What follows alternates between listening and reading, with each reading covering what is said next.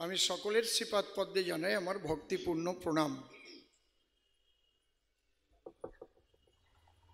আজ একটা বিশেষ জায়গায় কবি গানের আসর বসেছে। আমি নূতন এসেছি, আমি জানতামই না এখানে এত বড় একটা আশ্রম রয়েছে। ভারত সেবাশ্রম সংঘ সারা পৃথিবীতে সবাই জানে ভারত সেবাশ্রম সংঘ কী এবং কে প্রতিষ্ঠা করেছে। আজ যে উদ্দেশ্যে এখানে বিভিন্ন সাংস্কৃতিক অনুষ্ঠানের আয়োজন হয়েছে ধর্মমূলক, বিনোদনমূলক, সেই উদ্দেশ্য হচ্ছে মা জগদ্ধাত্রীর পূজা উপলক্ষে। আমি মায়ের শ্রীপাদ পদ্মে ভক্তিপূর্ণ প্রণাম জানাই। প্রণাম জানাই ভারত সেবাশ্রম সংঘের প্রতিষ্ঠাতা, যিনি আমাদের সকলের শ্রদ্ধেয়, সেই প্রণবানন্দজির পবিত্র আত্মার প্রতি আমি শ্রদ্ধা জ্ঞাপন করি। আমি শ্রদ্ধা জ্ঞাপন করি, এটাকে যারা ধরে রেখেছেন, বিশেষ করে এখানকার যিনি পৌরোহিত্য করে চলেছেন সবাইকে তো চলে যেতে হয়, কেউ চিরকাল থাকে না। জাতস্ব হি ধ্রুবম মৃত্যু ধ্রুবং জন্ম মৃতস্ব চ তবে মৃত্যু কারও হয় না, দেহ পাল্টায়। তবু আমাদের মৃত্যু কথাটা এটা প্রচলিত কথা। সেই জন্য আমরা ব্যবহার করি, লোকটা মারা গেছে।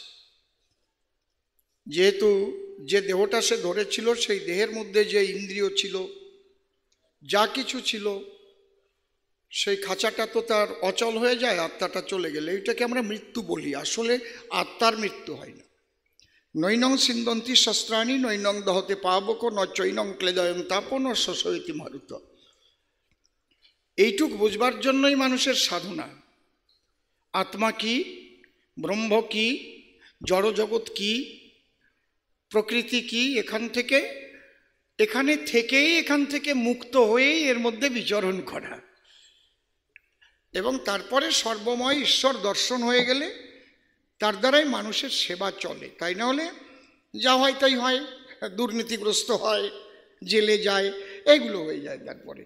কারণ সেই মানুষগুলো তো আর জানে না যে আমি আমি যে সর্বময় বিরাজ করছি, আপনার সেবা করলে আমার সেবা করাই হয়। আর আপনার ক্ষতি করলে মূলত আমার ক্ষতিই হয়। এই বোধটা তার জন্মায় না। কেন সে সদ্গুরু লাভ করেনি?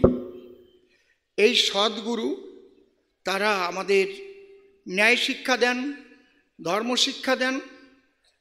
আর আমি সেই ধর্মকে পছন্দ করি না, যে ধর্ম গণ্ডিবদ্ধ চিন্তাধারাকে শিখায়। ধর্ম মানুষকে মুক্ত করে, ধর্ম মানুষকে প্রেমিক করে, ধর্ম মানুষকে সহজ সরল করে। ধর্ম কখনো মানুষকে ক্রিটিক্যাল বুদ্ধি শিখায় না। ধর্মে যিনি ধার্মিক হন, তিনি আকার, বাতাস কীট পতঙ্গ, তরু, লতা, পশু, পাখি সবার মধ্যে একই ব্রহ্মকে দর্শন করে সর্বং খল্লিদং ব্রহ্ম। এবং সেই মানুষ হয় ভাবময়, প্রেমময়। শুধু মানুষকে ভালোবাসে তা না, যার মধ্যে সব কিছুর মধ্যে একই ব্রহ্ম সব কিছুই সে ভালোবাসতে জানে। ধর্ম হচ্ছে তাই শিখায়, ধর্ম কাটাকাটি, মারামারি, এগুলো শিখায় না। তাহলে আমরা এইসব জায়গায় যদি আসি, তাহলে আমরা সেই শিক্ষাই পাব। এবং সেই ধর্ম কথাই আমরা শুনব, যে ধর্ম কথায় বিশ্বমানবের কল্যাণ হবে। শুধু আমার কয়জনের কল্যাণ নিয়ে কথা হবে, এইটুক নিয়ে আমাদের ধর্ম না আমাদের গীতা, ভাগবত, মহাভারত, বেদ, বেদান্ত, চৈতন্য, চরিতামৃত, যা দেখবেন আপনি, রামায়ণ, কখনো বলা হয়নি, হে হিন্দু, তোমাদের জন্য এই কথা বলিতেছি। পাবেন, কোথাও পাবেন কি? পাবেন আপনারা? গীতা খুঁজে দেখেন, কোথাও কৃষ্ণ বলেছেন কি? হিন্দুদের জন্য আমি এই কথা বলিতেছি। আছে কোথাও? তাহলে যে কথাটা চিরকালের বর্তমান, সেটা হচ্ছে গীতাজ্ঞান বিশ্ব মানবের কল্যাণ সূচক কথা। এটা হিন্দু, মুসলমান, খ্রিস্টান, বৌদ্ধ, শিখ, জৈন, পার্সি, যারাই মানব জাতি আছে, যদি গীতাজ্ঞান কেউ লাভ করতে পারে, আপনি দ্বিতীয় অধ্যায়টা পড়ুন না শুধু সাংখ্যযোগ প্রথম তো বিষাদ যোগ। তাহলে এই গীতাজ্ঞান লাভ করলে একটা মুসলমান, খাঁটি মুসলমান হতে পারে। এই গীতাজ্ঞান লাভ করলে একটা সনাতনী, সে খাঁটি সনাতনী হতে পারে। গীতাজ্ঞান লাভ করলে একটা শিখ ধর্মের মানুষ সে খাঁটি শিখ হতে পারে একদম। চিরকালের বর্তমান গীতা জ্ঞান চিরকালের বর্তমান। আমরা কোনো কোনো কথা বলি না, এ ভাই ওটা ছেড়ে দেয়া ওটা ওই সময়ের কথা এখনও সব অচল। এটা আমাদের বোঝো না, আধুনিক যুগ। এরকম আছে না? কিন্তু গীতা জ্ঞানটা ওই রকম কোনো ব্যাপার না। গীতা অনন্তকাল ধরে বর্তমান। ফ্রান্সের প্রাক্তন প্রধানমন্ত্রী মিস্টার দগল সাহেব তার ক্রিটিক্যাল অ্যানালাইসিস অফ লিটারেচার্সে লিখে গেছেন, তুমি যে ধর্মের মানুষ হও, গীতা পাঠ করো। যদি তুমি অধ্যয়ন করতে না পারো, যেখানে গীতা পাঠ হয়, একবার শ্রবণ করো। যদি তুমি কানে কালা হও, তাহলে তুমি অন্তত গীতাকে দর্শন করো। যদি তুমি ব্লাইন্ড হও, অন্ধ হও দেখতেও পাচ্ছ না, তাহলে গীতা একবার বুকে ধারণ করো। কত বড় কথা বলেছেন, ভারতের কেউ নয়, ফ্রান্সের প্রাক্তন প্রধানমন্ত্রী মিস্টার দগল সাহেব, তার ক্রিটিক্যাল অ্যানালাইসিস অফ লিটারেচার্স আজ এই মহারাজের নেতৃত্বে এবং সাধুদের নেতৃত্বে সেই গীতা মহোৎসব হবে চব্বিশে আমাদের ডিসেম্বর, একদম ব্রিগেডে, কলকাতা। আগে সেই কথাটা বলে নিচ্ছি। এক লক্ষ কণ্ঠে সেই গীতার ধ্বনি ধ্বনিত হবে। আপনারা সবাই যাবেন, মায়েরা, বাবারা একত্রিত হয়ে আপনারা সবাই সেখানে অংশগ্রহণ করবেন। আমি দেখে খুব আনন্দ পাই যখন ফেসবুকে দেখি ইসলাম রাষ্ট্রেও গীতা পাঠ করছে। বাহ! কেন করবেন না?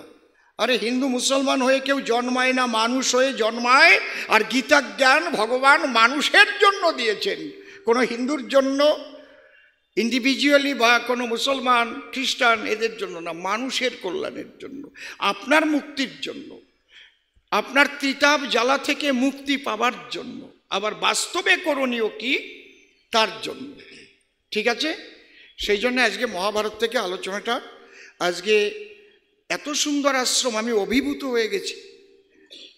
আমি অপরাধী, আমি কেন এতদিন আসিনি? আমি নিজেই অপরাধী।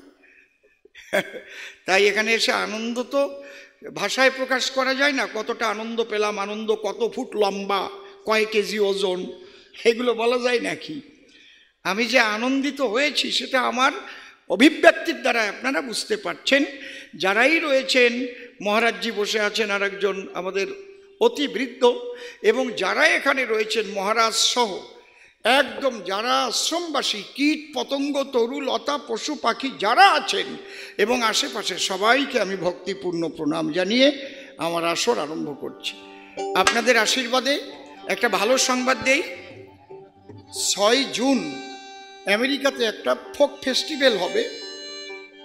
সেখানে চিফ গেস্ট হিসেবে আমাকে নিমন্ত্রণ করেছে, কাল আমার চিঠি এসেছে। এটা আমার জীবনের একটা বড় পাওনা। আমি ভেবেছিলাম এইরকম একটা হলে ভালো হয়। গতকালই ওখান থেকে পাঠিয়েছে। এবার আমাদের স্পিকার সাহেবের পারমিশন নিয়ে তারপরে ভিসার জন্য অ্যাপ্লাই করব। কোনো অসুবিধা হলে আমি আমার মহারাজ কার্তিক মহারাজ বলে যাকে চেনেন সবাই, আমি তাকে চরণ শিরে ধরে প্রণাম করছি। আমার কোনো অসুবিধা হলে আপনি একটু দেখবেন। হরি বল। তাহলে আমরা মায়ের নামে একটা ধ্বনি দেই। জয় জয় মা জগদ্ধাত্রী প্রেমানন্দে। হরি হরি বল।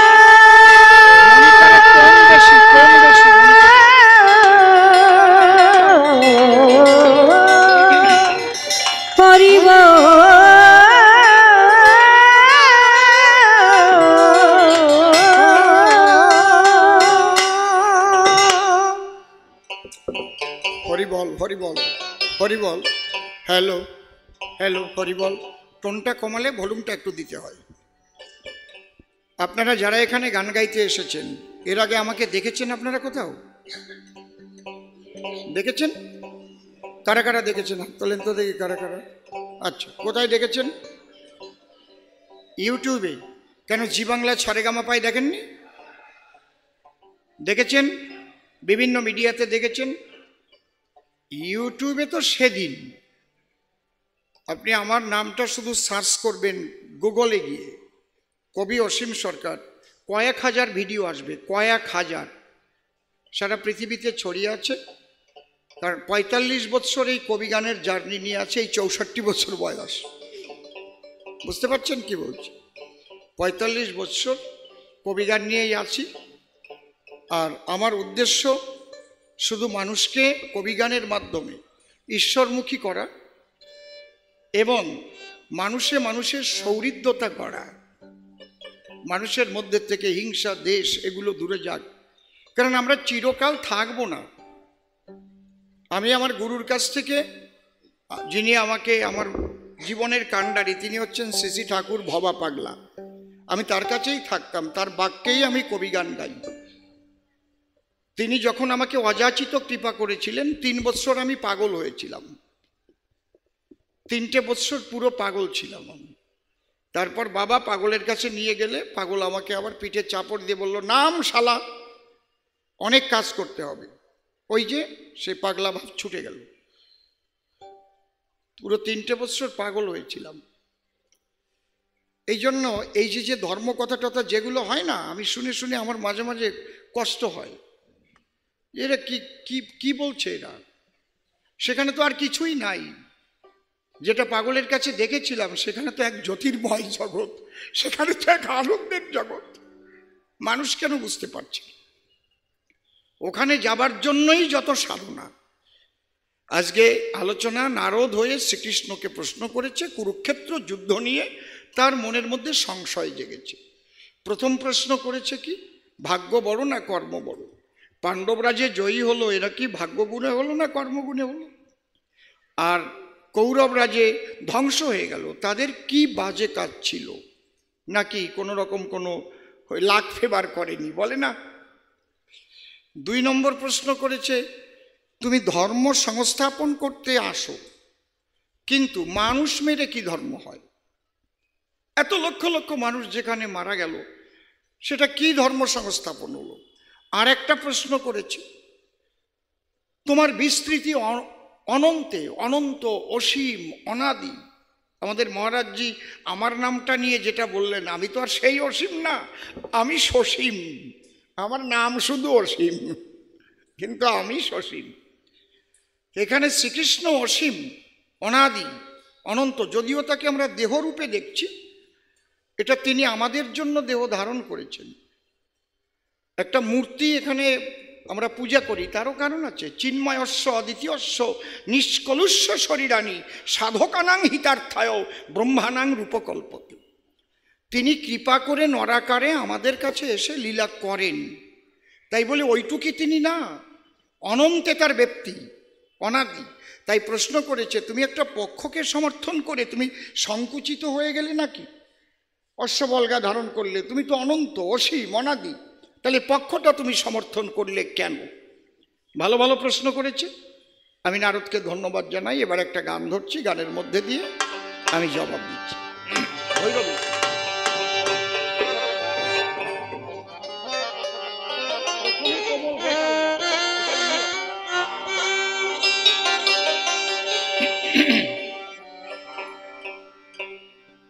যার যার নিজের দোষে সেই দোষী। আমি কিন্তু এখন আর অসীম সরকার নেই, আমি শ্রীকৃষ্ণের ভূমিকায় দণ্ডায়মান। যার যার কর্ম দোষে, সেই দোষী। দোষী নহে ভগবান। ভগবান।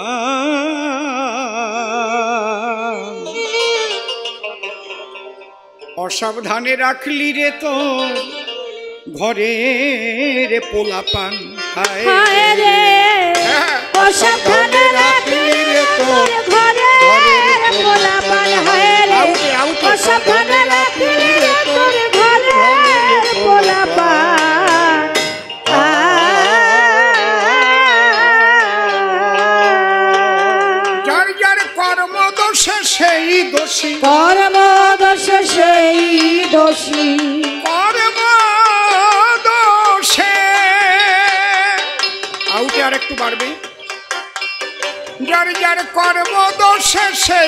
দোষী দোষী নহে ভগবান।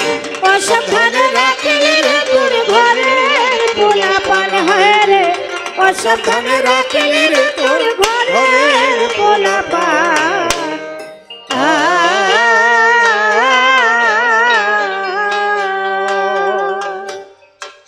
শ্রীকৃষ্ণের শ্রীপাদ পদ্ম হৃৎপদ্মে করে আরাধ্য শুদ্ধ চিত্তে প্রণতি জানাই। সাধুগুরু বৈষ্ণব হেরি, আর যত পুরুষ নারী, আমার ভক্তিপূর্ণ প্রণাম গ্রহণ করিবেন স্মরণ করি সেই পরমেশ, যার গুণ বর্ণিয়া শেষ বেদে করতে নারে স্মরণ নিলে যার পায় ব্যাঘাত বিঘ্ন দূরে যায়, বারে বারে নমস্কার করি তারে। পরে বন্দি মায়ের চরণ, যে পদ বিপদ হরণ ভবর সিন্ধু তরণের একমাত্র উপায়। যে পদ ভাবিলে পরে আপদ হরে, বিপদ হরে জীবগণে ধ্রুবমক্ষ পায়। এ ভাবধারায় বলতে গেলে অনেক সময় যাবে চলে, তাইতে চিন্তা করলেম দেলে ছোট, মনশিক্ষায় বেশি প্রয়োজন নাই। অদ্যকার যে কবিগান আমার জীবনের নূতন অনুষ্ঠান। এসে আমি এই সবাস্থান খুব আনন্দই পাই। আনন্দে মনে গেছে ভরে আমার বিপক্ষ কবি এসে আসরে। নাম ধরেছে নারদে গোসাই। তারই কল্পনা মতে আমি শ্রীকৃষ্ণ এসব হাতে, জোর হাতে প্রাণ গোবিন্দকে অনন্ত প্রণাম জানাই। তাকে আমি প্রণাম দিয়া তারই ভূমিকা নিয়া। এবার গাইব এই কবি গান আমরা যে দাঁড়িয়ে এই সভাতলি ছন্দে ছন্দে কথা বলি, আমাদের এই ছন্দগুলি মুখস্থ থাকে না কখনো। এগুলো নয় মুখস্থ, এগুলো নয় পকেটস্থ। বাগবাণীর কৃপায় যখন তখন এগুলো আমাদের থেকে হয় সৃজন। কবি আছে দুই প্রকার, কাণ্ড বড় চমৎকার। এক কবিরা ঘরে বসে কবিতা করে লিখন। আর আমরা দাঁড়িয়ে সভাতলে ছন্দে ছন্দে কথা বলে আনন্দে মাতিয়ে রাখি ভক্তগণ। এই জন্যে আমরা হচ্ছি চারণ কবি, আঁকি নিত্য ছন্দের ছবি। ছন্দে বিচরণ করি সর্বদায় কথায় কথায় হলে ছন্দ আনন্দ পায় ভক্তবৃন্দ, ছন্দে বাধা প্রাণ গোবিন্দ কৃষ্ণ রসময়। যে মানুষ ছন্দে চলে, জীবন যায় না তার রসাতলে। আর জীবনের চলার ছন্দ পতন হলে, তখন তো তার জীবনটাই হয় জ্বালাময়। বুঝতে পারছেন কি বলছি?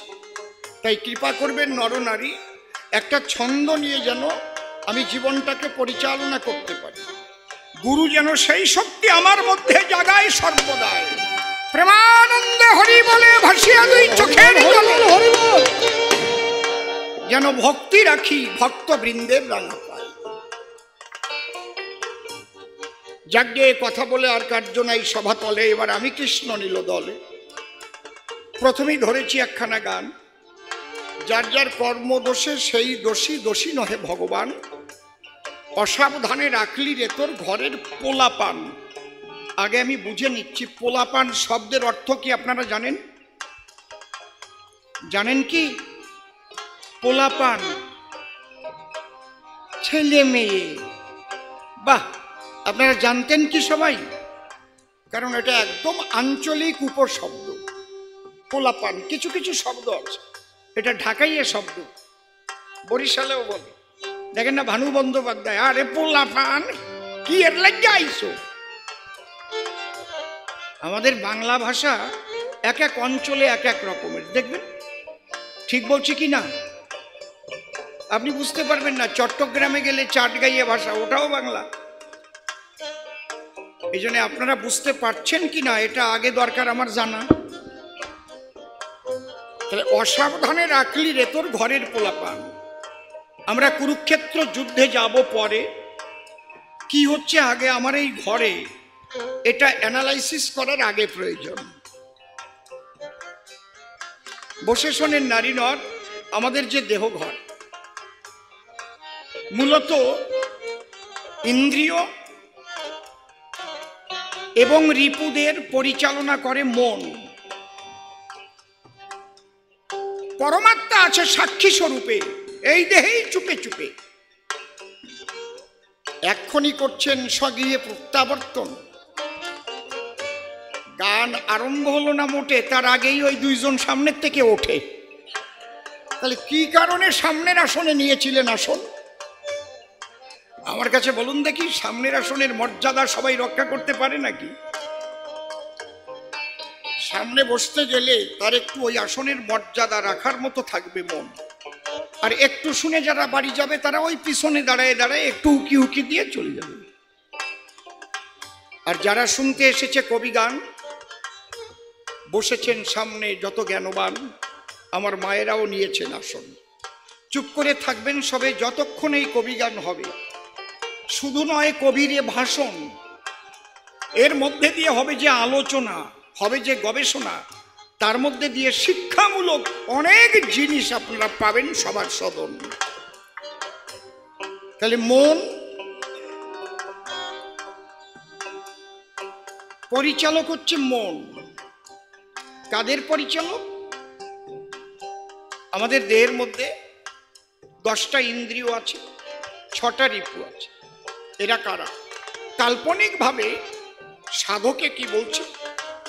যে মনের দুটি স্ত্রী আছে। আপনি অপারেশন করে খুঁজে কিন্তু পাবেন না, মনকেও পাবেন না, স্ত্রীটি স্ত্রী পাবেন না। কিন্তু আছে। মন আছে বলেই আমি মানুষ, মননশীলতা আছে। দুটো স্ত্রীর নাম কি? সুমতি এবং কুমতি। সুমতির তিনটি ছেলে আছে, একটি মেয়ে আছে। তিনটি ছেলে জ্ঞান, বিবেক, বৈরাগ্য, একটি মেয়ে হচ্ছে ভক্তি। আর কুমতির ছটি ছেলে আছে। কাম ক্রোধ, লোভ, মোহ, মদ, মাৎসর্য।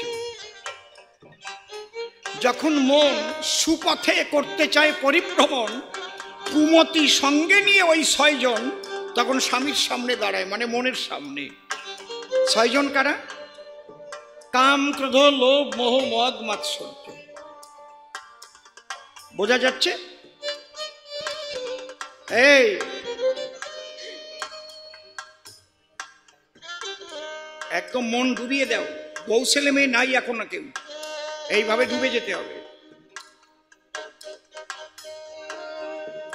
তাহলে কাম। কামে অনেক বড় বড় মানুষের ঘটায় বদনাম। কত মুনির ধ্যান ভেঙে দিয়েছে। এত প্রবল কাম। কাম বাধাপ্রাপ্ত হলে ক্রোধ জাগ্রত হয়। এটা জানে সাধু দলে।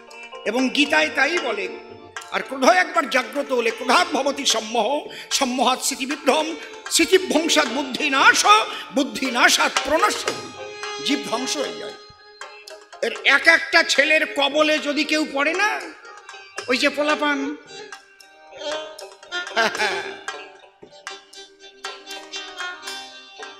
যখন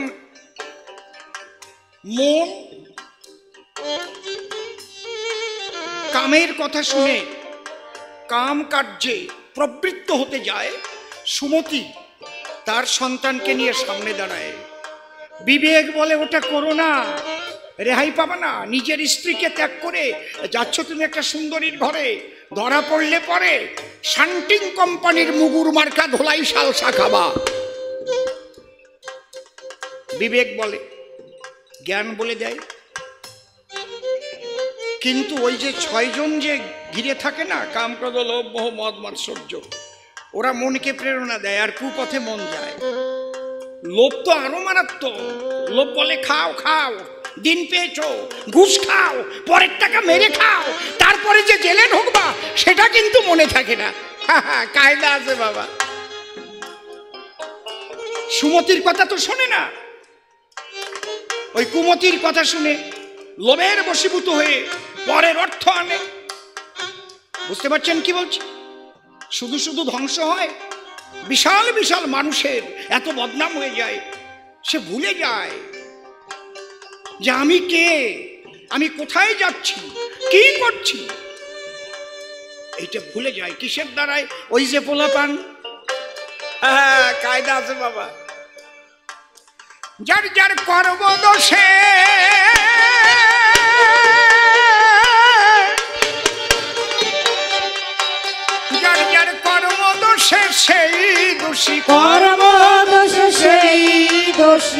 দোষী নহে ভগবান। অসাবধানে রাখলে তোর ঘরে সাবধানে রাখিস তোর ঘরের পোলাপান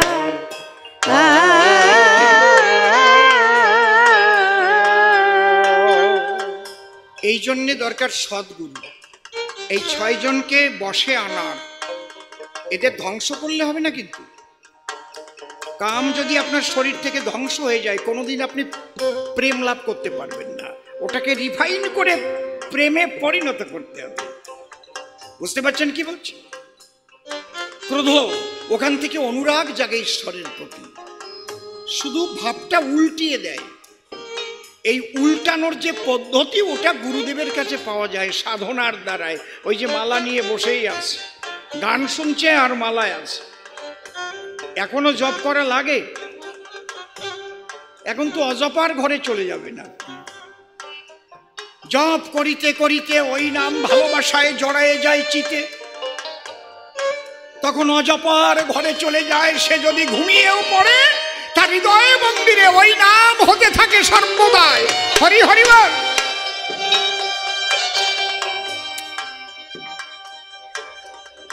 এই জন্যে নামকে ভালোবাসতে হবে, গুরু বাক্যকে আপনার পালন করতে হবে, একদম বিনা দ্বিধায়। ওখানে নিজের জ্ঞান খাটালে হবে না। গুরু যেটা বলেছে ওটা মানতে হবে এবং নামকে ভালোবাসতে হবে, নামের মধ্যে নামই আছে। আপনারা সোনা দানা কি করে রাখেন? যত্ন করে রাখেন। কেন? ওটা বিক্রি করলে অনেক টাকা পাবেন। নামকে যত্ন করতে হবে, লকারে রাখতে হবে হৃদয় লকারে ভরে উচ্চস্বরে সাধু সঙ্গ করে। ও বাবা। ওই নাম থেকে নামীকে দর্শন করতে হবে। এই পদ্ধতিগুলো শিখায় সদ্গুরু। আপনি একা পারবেন না আপনার রোগ হয়েছে যাবেন না ডাক্তারের কাছে তাহলে মরবেন। দুর্যোধন কখনোই কোনো সাধু বাক্য মানেনি। সাধুদের অবমাননা করেছে। বসে শোনেন জ্ঞানী গুণী একদিন বিশ্বামিত্র মুনি, ছোট। দুর্যোধনের সবাই গিয়ে বলেছিল, শোনো দুর্যোধন, তুমি যেসব কার্য করতেছ সম্পাদন, তোমার ধ্বংস অনিবার্য। তুমি ভালো হও। মুনিকে একটু বসতেও দিল না। বলল, বের হয়ে যাও এখান থেকে। উরুতে চাপড় মেরে বলল, আমরা শত ভাই চরাচরে, আমার উরুতে শক্তি থাকলে পরে তোমার মতো মুনির জ্ঞান আমার প্রয়োজন নাই। তখন বিশ্বামিত্র অভিশাপ করল, ওরে দুর্যোধন, আজ তুই আমাকে শোনালি কুবচন, আমি অভিশাপ করি তবে একদিন ভীমের গদা ঘাতে তোর ওই উরু ভেঙে চূর্ণ বিচূর্ণ হয়ে যাবে। আমরা অনায়াসে সাধু গুরুদের নিন্দা করি। আজকে আমি যে ধর্ম কথা বলছি, কোনো মুসলিম ভাই থাকলে তারও কাজে লাগবে? তার দেহের মধ্যে ওই কয়টা আছে? বুঝতে পারছেন কি বলছি? ওইটাকে কন্ট্রোল করার যে পদ্ধতি, সেটাই শিখায় সদ্গুরু ছয়টি ছেলে আছে বড়ই বেয়াক্কেল। যাতে হয় ঘরের সর্বনাশ। তাতেই বেশি মেল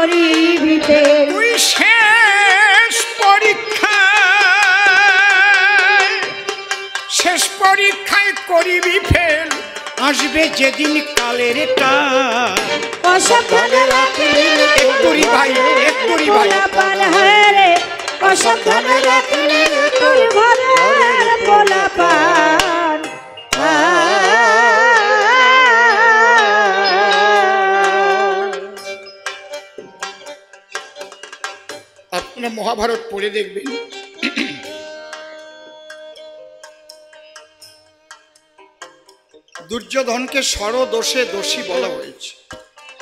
অগ্নিদ গরলশ্চৈব শস্ত্র পানি ধনাপহ। বিত্ত ভার্যা হরশ্চৈব স্বর এব আততাই হবে নারদ, বাবা, তুমি আমাকে প্রশ্ন করেছ, ভালো করেছ। কিন্তু কোনোদিন কি দুর্যোধনকে প্রশ্ন করেছ? অদুর্যোধন পঞ্চ পাণ্ডবগণ তারা কি অপরাধ করেছিল যে তাদের মারবার তরে একটা যতগৃহ তৈরি করে আগুন দিয়ে তাদের পুড়িয়ে মারতে চেয়েছিল? কি অন্যায় করেছিল তারা? যতুগৃহ কাকে বলে জানেন কি? মোমের ঘর। এক পাশে আগুন ধরায় দিলে কয়েক মিনিটের মধ্যে সারা ঘর উঠবে জ্বলে। ওর মধ্যে যারা থাকবে পুড়ে ছাই হয়ে যাবে। যদি কোনো ব্যক্তি তার এমন অভিব্যক্তি হয়, কাউকে ঘরে আটকে রেখে আগুন দিয়ে পোড়াইয়ে মেরে ফেলবে বা মেরে ফেলায়, তার বাঁচার অধিকার নাই। সে তো সমাজের শত্রু। তুমি জানতে চাইছো, বলছি সব। গরলস চৈব। তুমি একদিন জিজ্ঞেস করেছিলে? যারা এখনও গান্ধারী জীবিত আছে তাকে জিজ্ঞেস করো। যে কেন ভীমসেনকে নিমন্ত্রণ করে নিয়ে পিঠে লাড়ুর মধ্যে বিষ মিশিয়ে দিয়ে তাকে খাওয়াইয়ে মারার চেষ্টা করেছিল? অগ্নিদ গরলশ্চৈব শস্ত্র পানি ধনাপহ। দুর্যোধনের তো অস্ত্র ধরার কথা নয়। কারণ এই সম্পদ তো পাণ্ডবরাও পায়। এ তো জ্ঞাতির ভাগ শরিকিস ভাগ, সম্পত্তি। তাদের কিচ্ছু না দিয়ে একা একা সর্বগ্রাসী হয়ে সে তাদের বিরুদ্ধে যুদ্ধে ব্রতী হয়। আমি স্বয়ং শ্রীকৃষ্ণ। আমি মন করে সতৃষ্ণ। নিজে দুর্যোধনের কাছে গিয়েছিলাম। কেন দাদা যুধিষ্ঠির ধর্মে কর্মে মতিস্থির আমাকে বলেছিল, কৃষ্ণ, আমরা বারো বছর ছিলাম বনে। বৈরাগ্য জেগেছে আমাদের মনে। আর রাজ্য সিংহাসনে বসার মতো মানসিকতা নেই। তুমি কথা লও, দুর্যোধনের কাছে যাও। পাঁচখানা মাত্র গ্রাম চাও। যদি পঞ্চগ্রাম আমাদের পাঁচ ভাইকে দেয় আমরা তাই নিয়ে যে কদিন থাকব এই বিশ্ব বসুধায়, আমরা কৃষ্ণ ভজন করব। আমি নিজে কৃষ্ণ গিয়েছিলাম দুর্যোধনের কাছে। আমি যাবার পরে দুর্যোধন আমাকে জিজ্ঞেস করে, কৃষ্ণ, তুমি কি মনে করে এখানে দিলে দর্শন? আমি বলেছিলাম, ব্যয় মহাশয়, হিসেবে তো চুক্তি অনুপাতে ওরা অর্ধেক রাজত্ব পায়। খুব বেশি বাড়াবেন না, তাহলে ফেটে যাবে। কিন্তু দাদা দাদা যুধিষ্ঠির বলেছে তাই। আমরা পাঁচটা ভাই মাত্র পাঁচখানা গ্রাম চাই। সেদিন কি বলেছিল দুর্যোধন? শুনো কৃষ্ণ নীলপদ্মে। বিনা যুদ্ধে সুচাগ্র মেদিনী করিব না দান। বলেনি? আমি বলেছিলাম তাই। বেআই মশাই, কথাটা মোটেই ভালো নয়। অন্তরে দেখো ভেবে এটা একটা বিরাট যুদ্ধ হবে। ধ্বংসক্ষয়ী যুদ্ধ হবে। নিজেদের মধ্যে যুদ্ধ করে নিজেরাই শেষ হবে। দুর্যোধন ডেকে বলে, তুমি বুঝি পাণ্ডবদের দালালি করতে এলে? এই পাটের দড়ি নিয়ে আয়। শ্রীকৃষ্ণকে বন্ধন করে কারাগারে আবদ্ধ করে রাখতে আছে অভিপ্রায়। আপনারা বলুন তো, কৃষ্ণকে দড়ি দিয়ে বাঁধা যায়? হ্যাঁ বাঁধা যায়। কোন দড়ি? যদি কারও প্রেমের দড়ি থাকে, ভক্তির দড়ি থাকে, সেই বাঁধিতে পারে শ্রীকৃষ্ণকে। বাহ্যিক জগতের কোনো দড়িতে বাধা পড়ে না কখনো এই কৃষ্ণ দয়াময়। এই নারদ একদিন কৃষ্ণকেই জিজ্ঞেস করেছিল আচ্ছা কৃষ্ণ এই জগতে কত রকমের পূজা দেখলাম, আমি মরতে গিয়ে দেখেছি। কেউ তোমার মূর্তি স্বর্ণ দিয়ে তৈরি করে, কেউ রৌপ্য দিয়ে তৈরি করে, কেউ কষ্টি পাথর দিয়ে তৈরি করে, কেউ চর্বচস্য লেজ্জ পেও ওটাকে প্রসাদ বানিয়ে দেয় তোমার সামনে। চর্ব বোঝেন তো, যেটা চিবিয়ে খায়, চস্য মানে যেটা চুষে খায় লেজ্জ মানে চেটে চেটে খায়। পেও মানে পান করা। অনেক রকমের খাদ্য তোমাকে দেয় কৃষ্ণ নীলপদ্ম। বিরাট বিরাট মন্দির। আমি মর্তধামে দেখেছি। রসময়, আবার কেউ ছোট্ট একটা তাল পাতার কুড়ে ঘরে তোমার একখানা ফটো রেখে একটা নকুল দানা দিয়ে তোমার পূজা করে। কোন পূজায় তুমি সন্তুষ্ট হও, এই নারদ জিজ্ঞেস করেছে। আমি বলেছিলাম, নারদকে নারদ তুমি জগতে জানিয়ে দাও। কিচ্ছু দিতে হবে না, যেন একটা ফুল কৃষ্ণায় নম বলে আমার চরণ তলে নিবেদন করে। নারদ বলে, ঠাকুর, যদি ফুল কুড়িয়ে না পায়, ও আবার একটু বেয়ারা ভক্ত তো? তাহলে কি দেবে? তখন আমি বলেছিলাম, যদি ফুল না পায়, যেন একটা পাতা দেয়। নারদ ডেকে বলেছিল, আমার ধারে বসন্তকাল আসার আগে, বলি তোমার পুরো ভাগে, গাছের সব পাতা ঝরঝর ঝরঝর করে যায় ঝরে। যদি পাতা না পায়, তাহলে কি দেবে? তা যদি না পায়, তাহলে এক গন্ডুস গঙ্গা জল। হে কৃষ্ণ নীলদল, এই বলি, যেন আমার চরণ তলে দেয়। নারদ বলে, তবে এই গঙ্গা জল সব জায়গায় কি আর পাবে? তোমার কোনো ভক্ত ঘুরতে ঘুরতে মরুভূমিতে গিয়ে হাজির হলো। সেখানে ফুল নাই, পাতা নাই, গঙ্গা নাই, কি দেবে বলো?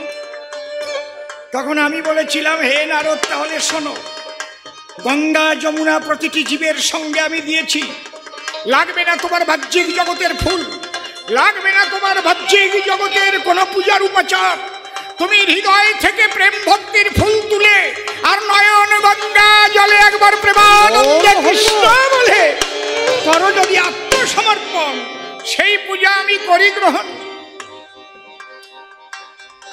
যে পূজাতে ভক্তি নাই সেই পূজায় আমি গ্রহণ করি না কানহাই আর আমাকে বাঁধতে চাই কি দিয়ে? দড়ি দিয়ে দড়ি নিয়ে যখন বাঁধতে এলো হঠাৎ চেয়ে দেখতে পেল কৃষ্ণ আর তার সামনে নেই। একই আমি কৃষ্ণ কমলাখি ওর পশ্চাতে হয়ে দণ্ডায়মান?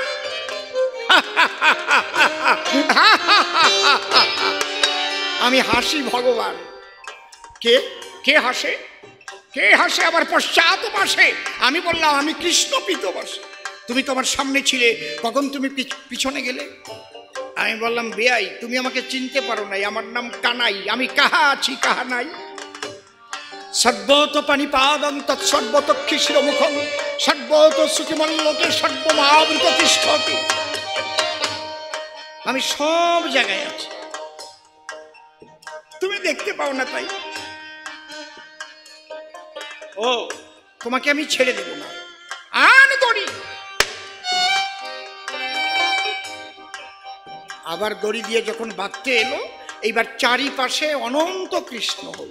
এখন দেখে কৃষ্ণময়। ডাইনে কৃষ্ণ, বায়ে কৃষ্ণ, সামনে কৃষ্ণ, পিছনে কৃষ্ণ, সব কৃষ্ণময়। তবু বোকা বোঝে না কোন কৃষ্ণ এলে শোনা আমার দরজায় এসে পাঁচখানা গ্রাম চায়। এ নারদ, ভাগ্য কর্মের দ্বারাই সৃষ্টি হয়। ভাগ্য আকাশ থেকে পড়ে নাকি কোনো সময়? তুমি যেমন কর্ম করবে, তেমন ফলটি তুমি পাবে। বুঝতে পারছ কি বলছি? ওই ভাগ্যে তোমাকে টেনে নিয়ে যাবে। হ্যাঁ কর্ম করা থাকলে পরবর্তীতে ওইটা পরিপক্ক হয়ে ভাগ্যে পরিণত হয়। আজকে আপনি আশ্রমে এক লাখ টাকা দিয়ে গেলেন। সাধু সেবায় কিংবা গরিবের সেবায় এখানে অনেক দরিদ্র সন্তান, চারশো, পাঁচশো, প্রায় হাজার খানে তাদের পড়াশোনার দায়িত্ব কিন্তু এখানে। সমস্ত কিছু দায়িত্ব ভার ভারত সেবাশ্রম সংঘ থেকে এখান থেকে গ্রহণ তোমার দেওয়া থাকল। তোমার দেওয়া আছে। ওটা কিন্তু এন্ট্রি হয়ে গেছে। কোথায়? অদৃশ্যভাবে ঈশ্বরের কাছে। তার খাতায় এন্ট্রি হয়ে আছে। এমন বিপদের সময় তোমার মনেই নেই। সেই বিপদ মুক্ত হবার জন্য কোথার থেকে তোমাকে কে দিয়ে যাবে? তুমি তখন বলবে হ্যাঁ হ্যাঁ রে হ্যাঁ ভাগ্যে এটা করেছে, আমার ভাগ্যে ছিল না, তোমার দেওয়া ছিল বলে সেই কর্মের ফলে তোমার ভাগ্য সৃষ্টি হয়েছে। কিচ্ছু দেবে না, আর তোমার পাবার ভাবনা এটা কখনো মনে করো তোর বড় ছেলে চঞ্চলে বেশি। অঞ্চলে তার নাম। সকল গর্ব খর্ব করে নামটি তাহার কাম।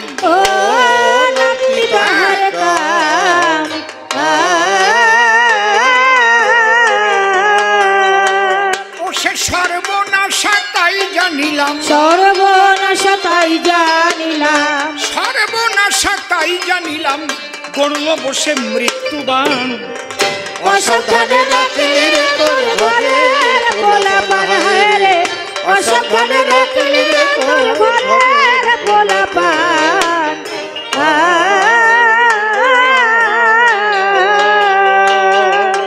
তোর মেজে ছেলে সকলে কাজে করে শুধু ভুল। কতবার যে লোক সমাজে কেটেছে নাক চুল। কেটেছে না চুল।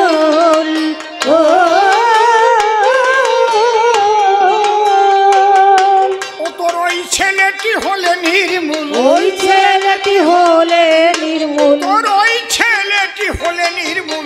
থাকতো না মান অপমান। অসাবধানে রাখলি তোর ঘরের পোলা পাহাড়ে বাবা। অসাবধানে রাখলি তোর ঘরের পোলা পান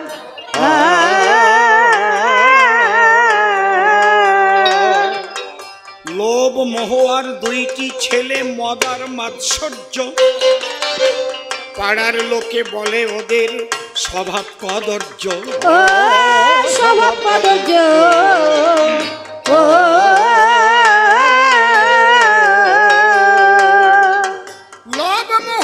দুইটি ছেলে মদার মাৎসর্য।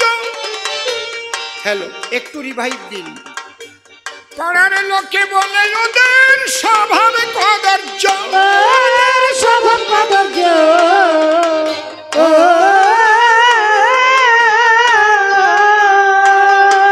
অধমসীম বলে ধরে ধৈর্য। অসীম বলে ধরে ধৈর্য।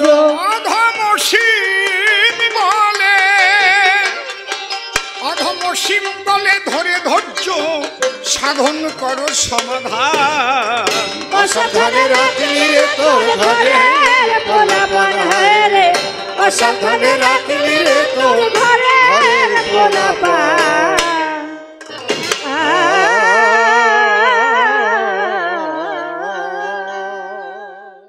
চরণ ধরে করিমানা কেউ কথাবার্তা বলবেন না কবি কাব্যের বেচাকেনা করিবার দায়।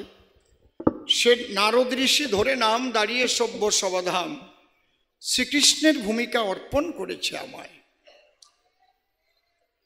অধ্যকার এ আসরে তিনখানা গেছে প্রশ্ন করে। এই যে কুরুকুল যে গেল মোড়ে, এই কেউ বাইরে যাবে না। আর পাণ্ডবেরা কুরুক্ষেত্রে জয়যুক্ত হয়।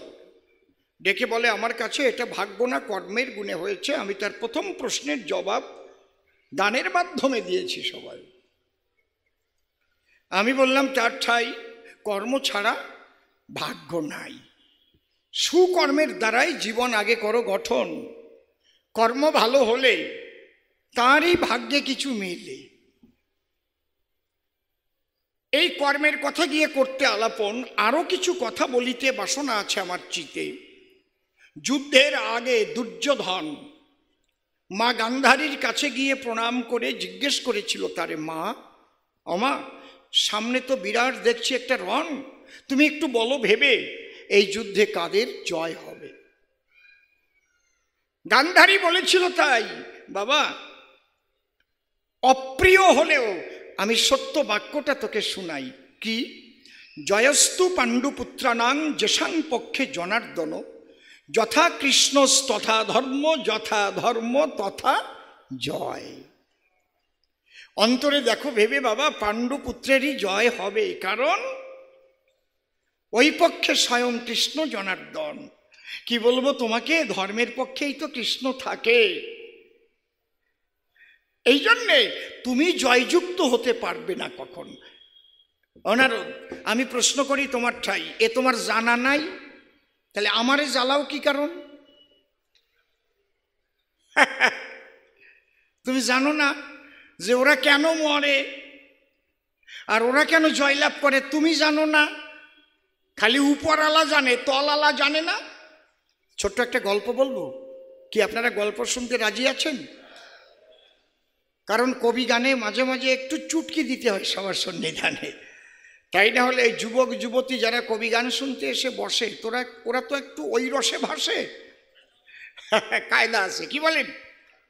এখন আমি দাঁড়ায় সবাতলি যদি দুই একটা হাসির গল্প না বলি, অনেকে মনে মনে ভাববে, তাই অসীমদার আগে রস ছিল, তা বুঝি রাজনীতিতে গিয়ে শুকিয়ে গেল, আগের মতো নাই। অন্তরে করুন ধারণা, বান্দর বুড়ো হয়ে গেলেও গাছে ওটা স্বভাব যায় না, অত সোজা না। কায়দা আছে। শুধু কৃষ্ণ বলবে, তুমি জানো না? উপরওয়ালা জানে, তলালা জানে না। এক ভদ্রলোক, সে বোম্বে চাকরি করে। বেশ কিছুদিন পরে পরে ছুটি পেলে আসে ঘরে। স্ত্রী অনেক দুঃখ নিয়ে অন্তরে জীবনটা কাটায়। কারণ এগুলো পুরুষ যারা বুঝতে পারবেন না। বুঝবে কারা? আমার মায়েরা। যে মায়েদের স্বামী অনেক দিন বাইরে থাকে, কত ব্যথা যে তাদের বুকে। এটা কি মুখে বলে বোঝানো যায়? কিংবা ঠিক বলছি কি না বলুন। হ্যাঁ এখানে আবার জয়গুরু কোথার থেকে আসলো? আমি বলছি মায়েদের বুকের ব্যথার কথা। উনি বাড়াই এনেছে ওনার লতা। জয়গুরু! কি মা ঠিক তো নাকি?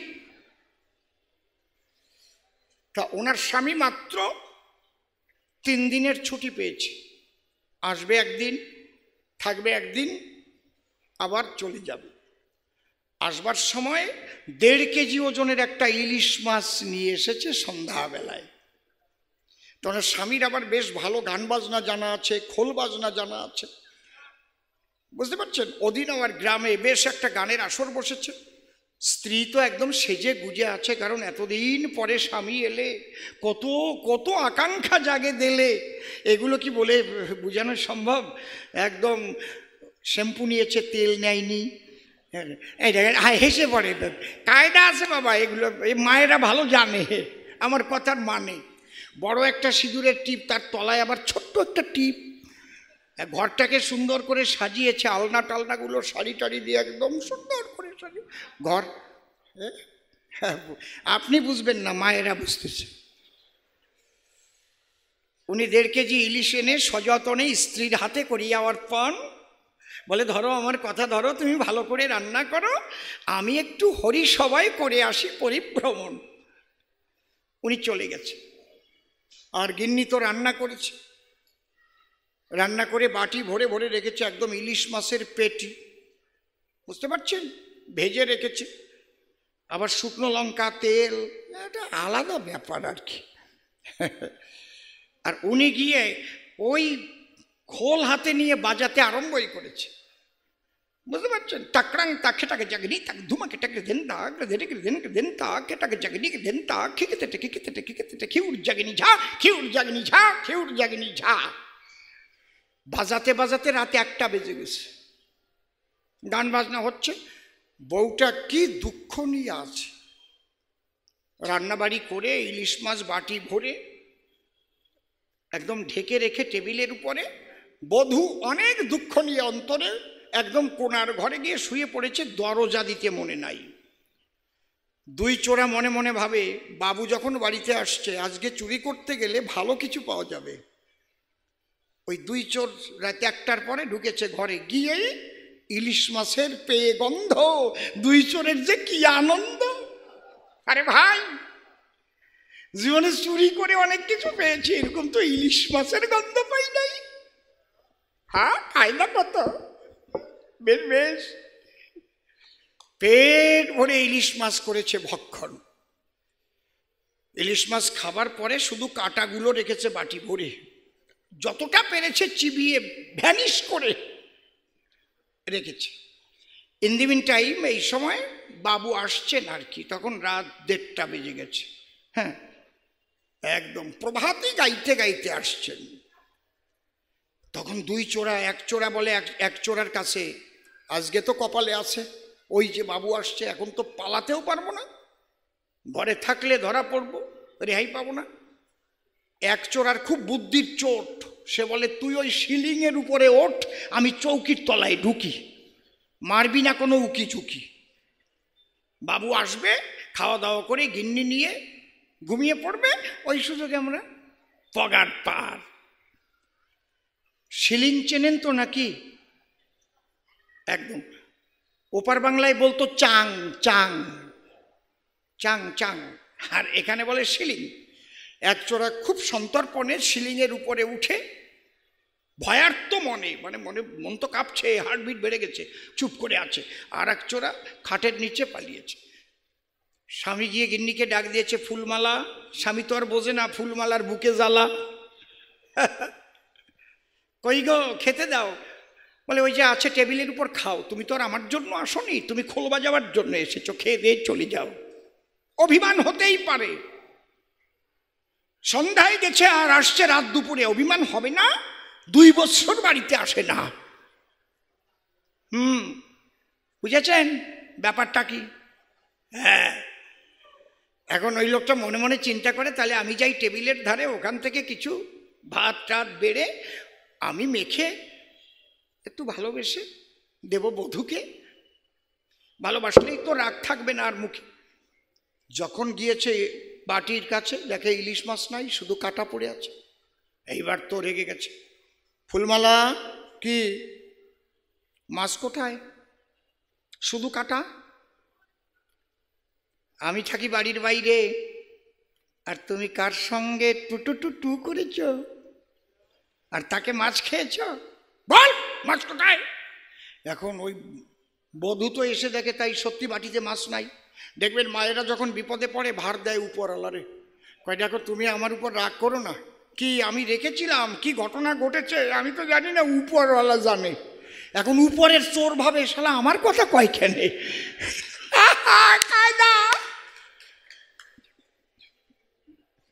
স্বামী ডাক দিয়ে কয় এ তো সহ্য করার জিনিস নয়। দেড় কেজি ওজনের ইলিশ তুই তোর কোন পীড়িতের লোক নিয়ে গিলিস? বলে আমি খাই নাই। দোহাই ধর্মের। কে খেয়েছে সব উপরওয়ালা জানে। এখন উপরের চোর চিন্তা করে মনে, এ তো আমার উপরেই সব দোষ চাপবে নে। ও লাভ দিয়ে পড়েই বলছে, ও মা, খালি উপরওয়ালা জানে, খাটের তলে একজন আছে, ও খায় নাই, ও জানে না?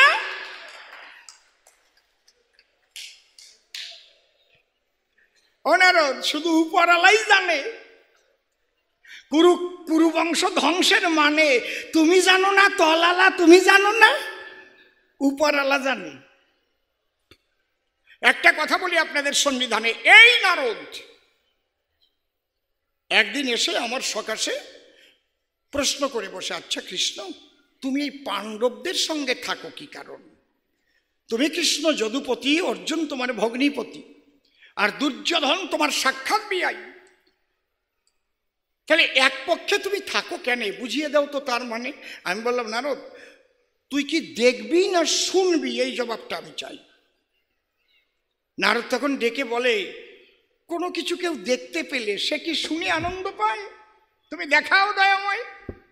আমি কৃষ্ণ নন্দলালা নারদের হাতে দিলাম তিনটি মালা। বললাম, এই তিনটি মালার মধ্যে নারদ, আমি বলি কৃষ্ণ সারধ্যে এর মধ্যে কিন্তু ক্লাসিফিকেশন আছে, শ্রেণীভেদ আছে। কি? এই মালাটা হচ্ছে প্রথম মালাটা উত্তমের মালা। দ্বিতীয় মালাটা মধ্যমের মালা, তৃতীয় মালাটা অধমের মালা। তিনটি মালা নিয়ে তুমি দুর্যোধনের সবাই যাবে। তোমাকে নিশ্চয়ই জিজ্ঞেস করবে, মালা নিয়ে এলে কি কারণ? তুমি বলবে, তাই, রাজামশাই, আমি তিন ব্যক্তিকে এক স্থানে পেলে তিনটি মালা দেব তাদের গলে। একজন কম থাকিলে কিন্তু মালা দিতে নাহি চাই। তিনজন লাগবে। কে কে? একজন উত্তম, একজন মধ্যম আর একজন বলো কি? অধম। যাও, জবাব পেয়ে যাবে। শ্রীকৃষ্ণের কথা মতে নারদমালা নিয়ে হাতে দুর্যোধনের সভাতে যখন হলো দণ্ডায়মান দুর্যোধন নারদকে দেখে তখন বলো বলে ডেকে, মালা হাতে তুমি এখানে এলে কেন? দুর্যোধন নারদ নারদ ঋষি বলে, তাই তিনটি মালা তিনজনকে আমি দিতে চাই। তিনজন ব্যক্তি কি আছে সবাস্থান কে কে? বলে, একজন উত্তম, একজন মধ্যম, একজন অধম। তুমি নির্বাচন করে বলে দাও আমাকে। বলো উত্তমকে দুর্যোধন বলে, তাই আমার চাইতে উত্তম পৃথিবীতে আর কেউ নাই। মানে বাল্য শিক্ষার জ্ঞানটাও নাই। আপনাকে বড় বলে বড় সেই নয়, লোকে যারে বড় বলে বড় সেই হয়। কত বড় অপদার্থ। বলছে, আমার চাইতে আর শ্রেষ্ঠ কেউ নাই। আমি একাই শ্রেষ্ঠ। বেশ, বুঝলাম, স্পষ্ট। আমার মনে নাই কোনো কষ্ট। তাহলে মধ্যম কঞ্জন দুর্যোধন বলে তখনই আমার সব সময় বুদ্ধি যোগায়। যে থাকে সব সময় আমার সভায়, ওই যে আমার মামা শকুনি। বাহ বাহ, মামা ভাগিনের দল। তাহলে পেলাম দুইজন। তাহলে অধম হবে কে? নির্বাচন করে দাও আমাকে। এখন সবাই দুর্যোধন বলে, ডেকে তোমরা অধম কেউ আছো হেতায়? সর্বজন ডেকে বলে, তাই আমাদের অধম হওয়ার কোনো বাসনা নাই। কি? আমরা রাজার লোক, রাজার বাড়ির বেড়ালটাও আড়াই অক্ষর পড়ে। আমরা অধম হব কিসের তরে? এখন গেছে বিপদে পড়ে। তাহলে তো মালা দেবে না আমারে। হঠাৎ দেখে পাশ দিয়ে এক ম্যাথর হেঁটে যায়। দুর্যোধন বলে, তবে এইবারই অধম হবে। এই ম্যাথর সুইপার, এদিকে আয় এদিকে আয়। কেন রাজামশাই, ওভাবে ডাকছেন কেন? কাউকে ডাকতে গেলেও কিন্তু তার একটা মর্যাদা দিতে হয়, সে যেমনই লোক। একটু ভ্যানওয়ালা যাচ্ছে, আপনি যদি বলেন, এই ভ্যানওয়ালা, এই, এইদিকে স্টেশনে যাব। সে আমাকে, আপনাকে জবাব দিয়ে দেবে, আপনার মতো ওই রকম খরিদ্দার আমার দরকার নেই। দেবে কি না? কোনো ভিখারিও যদি তারও দেশে আসে, আপনি যদি তাকে বলেন, এই নে এই নে পঞ্চাশ টাকা দিলাম, আর পয়সা তো আর পাস না, এই বাড়ি দিলাম, নিয়ে যায় খা, জম্বের খাওয়া খা। সে নেবে না আপনার টাকা। নেবে? প্রত্যেক মানুষের একটা মর্যাদা আছে, এইটা কিন্তু আগে ভাবতে হবে। রাজা হয়ে সেই মর্যাদা ক্ষুণ্ণ করে দেয়। অনেক রাজারা আছে, দেখবেন, বড় বড় অফিসারদের যেভাবে কথা বলে না, অনেক রাজারা আছে, আমি নাম বলব না, বাবা, আমি কোনো দোষের মধ্যে যাব না। দেখবেন সে বড় বড় officer IAS officer, IPS officer, একবারে নাম ধরে ধরে কেন তুমি বলো, তুমি এটা করছ কেন আছে না?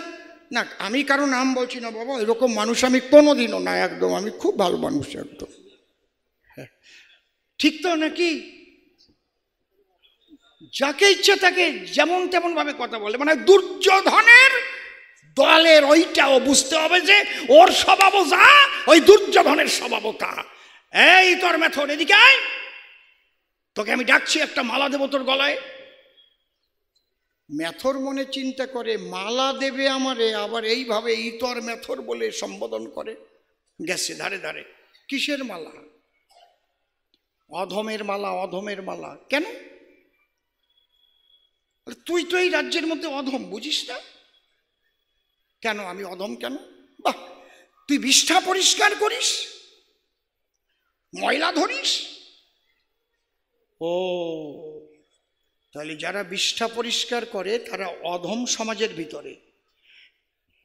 আপনার কথা যদি ঠিক হয় তাহলে মালা দিতে হবে না আমার গলায়। সেই মানুষ আছে আপনার ঘরে। কে? বলে আপনার মা। অসভ্য কোথাকার। এত বড় স্পর্ধা তোর? দাঁড়ান রাজামশাই। আপনি আমাকে আজীবন কারাগারেও রাখতে পারেন। আগে কথাটা শোনেন। আপনি আগে মায়ের কাছে গিয়ে জিজ্ঞেস করেন, সবচাইতে আমার, আপনার ময়লা কে বেশি পরিষ্কার করেছে? জিজ্ঞেস করেন। যখন ছিলেন ছোট্ট ছেলে, থাকতেন যখন মায়ের কোলে। কত প্রস্রাবের জলে মায়ের কোল ভাসিয়ে দিয়েছেন। মা খেতে বসলে পরে পায়খানা করে দিয়েছেন কোলের ভিতরে। সেই দুর্গন্ধ সহ্য করে মা তার অধরে দিয়েছে অন্ন ব্যঞ্জন জিজ্ঞেস করুন, আমি অতদিন আপনার পায়খানা পরিষ্কার করি নাই। যদি পায়খানা পরিষ্কার করলেই সে অধম হয়, তাহলে ওই অধমের মালাটা পরান গিয়ে আপনার মায়ের গলায়। একটা মানুষ কখন তার মুখ খোলে বলুন তো? যখন সে যে সে ঠেকে যায় চালে আর তার জায়গা নাই, এর চাইতে মরণ ভালো, বলেই যাব, কপালে যাওয়াই তা হয়ে যাক। কি? মানুষের মর্যাদা যে রাজার কাছে নাই, সে রাজাকে বলার মতো ব্যথরও ভয় পায় না। তার বিরুদ্ধে তখন লড়াই করবার জন্য একত্রিত হতে হয়। যে মানুষের মর্যাদা দেয় না। বুঝতে পারছেন কি বলছি? ম্যাথর খেপে গেছে, তার অন্তর থেকে ভাষাগুলো বেরিয়ে এসছে। আপনি আমাকে দিতে চান অধমের মালা খান আপনার মা যেমন আপনার ময়লা পরিষ্কার করে সর্বশ্রেষ্ঠ আসন মায়ের স্বর্গের উপরে স্বর্গাদপি অসি মা স্বর্গের চাইতেও শ্রেষ্ঠ স্থান মায়ের। তাই না কি আমরা যারা ম্যাথর জাতি বলি আপনার সম্প্রতি, আমরা সমাজের মা হয়ে ময়লা পরিষ্কার করি সর্বদায় মাকে মালা দিতে গেলে উত্তমের মালা যেমন দিতে হয় মায়ের গলে, আমাকেও দিতে হলে উত্তমের মালা আমার গলে করো দান কেন আমি পরব অধমের মালা খান? দুর্যোধন মনে মনে ভাবে, তাই এই নারদের জন্য এত বেশি কথা শুনলাম রে ভাই, ও মালা দিয়ে আমার দরকার নেই। এই যা যা, তুই বেরো। যত ভেজালের মূল এই নারদ নারদ মনে চিন্তা করে, আর থাকব না সবার ভিতরে। মালা তিনটে হাতে করে একদম শ্রীকৃষ্ণের কাছে গিয়ে দিল দর্শন। যুধিষ্ঠির, ভীম, অর্জুন, নকুল, সহদেব, ভাই পাঁচজন, আরও পারিষদবর্গ যারা কৃষ্ণকে ঘিরে নিয়ে কথোপকথন করছে তারা। আমি কৃষ্ণ মনোচরা নারদকে করলাম জিজ্ঞাসন "আ, নারদ মালা হাতে ফিরে এলি যে আমার সাক্ষাতে? দুর্যোধনের মালা গলাতে মালা পরশনি কি কারণ? বলে ঠাকুর সর্বনাশ হয়ে গেছে। এক ম্যাথর যা দুর্যোধনকে দিয়েছে না। আমি কোনো মতে পালায়ে চলে এসেছি তোমার সাক্ষাতে মালা হাতে। আচ্ছা ঠিক আছে কথা ধর তুই এই সবার মধ্যে জিজ্ঞেস কর। এর মধ্যে উত্তম কোনজন? যুধিষ্ঠিরকে জিজ্ঞেস কর। বলে, ঠাকুর, ওই সবের মধ্যে আমি যাব না। ওই যে ভীম আছে বসা, ও গদা মেরে আমার ঘটাবে দুর্দশা। বলে, না না, আমি কৃষ্ণ পিতবাস। আমাকে তো করিস বিশ্বাস। আমার নাম তো করিস স্মরণ। জিজ্ঞেস কর এখন। কম্পিত গাত্রে নারদমণি ডেকে বলছেন যুধিষ্ঠিরের ক্ষেত্রে আচ্ছা তোমার এই সবাই কি তিনজন মানুষ আছে? কে কে? উত্তম, মধ্যম, অধম, বলে দাও আমাকে। বলে হ্যাঁ আছে। যুধিষ্ঠির ডেকে কয়, উত্তম আর কেউ নয়। অনন্ত কোটি ব্রহ্মাণ্ডের মধ্যে নারদ বলি তোমার সান্নিধ্যে, উত্তমের উত্তম পুরুষোত্তম আমার কৃষ্ণ দয়াময়। উত্তমের মালা দিতে গেলে দিয়ে দাও তুমি শ্রীকৃষ্ণের গলে। চমকে উঠেছে নারদ সেই সময়। বাহ, কোথায় দুর্যোধন আর কোথায় যুধিষ্ঠিরের মন? খালি উপরালা জানে, তলালা জানে না?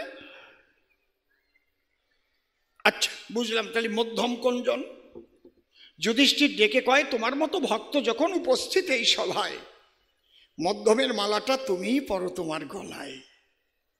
বেশ ভালো কথা, শোনালে আমায়, অধম কে হবে বলো তাই? যুধিষ্ঠির ভেসে চোখের জলে নারদ মুনির কাছে কেঁদে বলে, নারদ, যে উদ্দেশ্য নিয়ে জন্ম নিয়েছিলাম, মানুষ হয়ে ধরণী তলে আমি মানুষের কর্ম কি করিতে পেরেছি, সাধন? তাই আমার বিবেক দিয়ে বুঝেছি তাই। আমার মতো অধম আর জগতে কেউ নাই। ওই অধমের মালাটা আমার গলায় তুমি করো দান।